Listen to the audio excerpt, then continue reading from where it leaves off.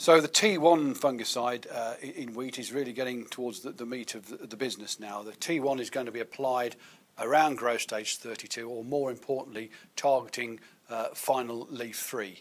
Now, this is a leaf that can carry and harbour disease, which can transmit very easily onto the emerging leaf 2 and flag leaf. So we need to keep leaf 3 clean for as long as possible.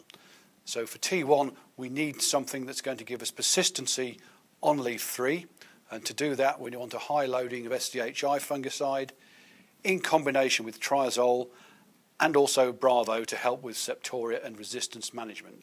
So a product such as Keystone mixed with Bravo will give us those three active ingredients and give us persistent control against both septoria and rusts.